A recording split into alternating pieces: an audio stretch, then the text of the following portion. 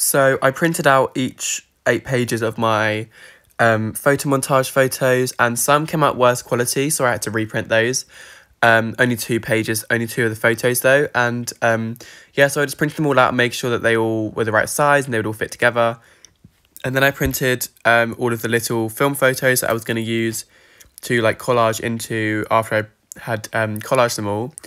Um, so here I am just kind of like piecing them back together um, and sort of like sticking them together from the back so that I could put them up on the wall um, or like put like the center part up on the wall so I could decide where it would grow from um, and which part would be like creased in the corner. Um, and then I put them all up sort of like separately from there because just wanted to know which piece went where. Um, and putting them up was actually surprisingly easy. I used a mixture of like Blu Tack and tape um, to stick them all up. Um, and then I also just sort of like collaged all my film photos and stuff back into it where I felt like it sort of like um, blended in with the rest of the scenery. Um, and then I brought my lamppost up into the space and screwed on the LED light so that I could uh, use the orange light again.